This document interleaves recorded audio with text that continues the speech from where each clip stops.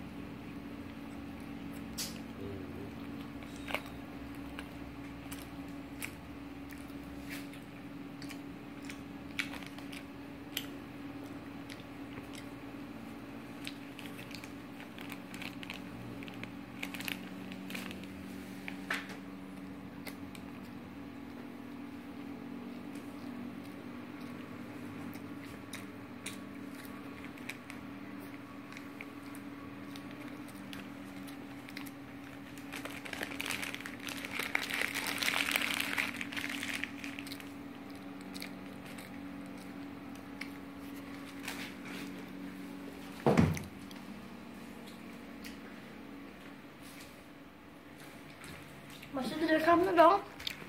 Nah. Dipotong nanti yang itu ya.